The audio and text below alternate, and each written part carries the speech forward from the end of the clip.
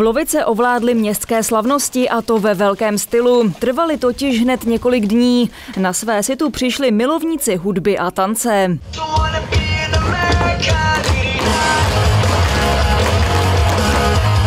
I ti, co milují historii, zejména baroko. A je mi opravdu velkým potěšením, že jste mě z časů mých pozvali abych k vám mohla promluvit. Pan starosta byl tak laskav a pozval mě jako hraběnku Waldburgu ze Štemberka eh, krakovskou Skolovrat, eh, která se přivdala na tento zámek a abych uvítala při městských slavnostech jménem tedy rodu Kolovratů eh, ten, ty návštěvníky. Která přijede na kočáře taženém starokladrubskými bělouši.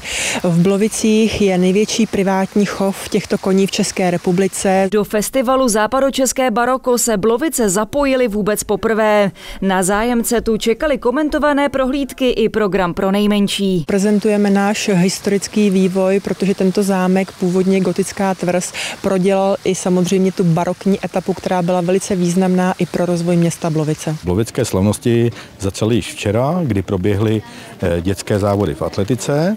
V podvečer eh, jsme zde v Sokolovně měli už eh, koncert a ty slavnosti vrcholí právě dnes, kdy zde za malou chvíli zahájíme slavnosti vystoupením dětí z místních škol, Sokola a z Domu dětí a mládeže.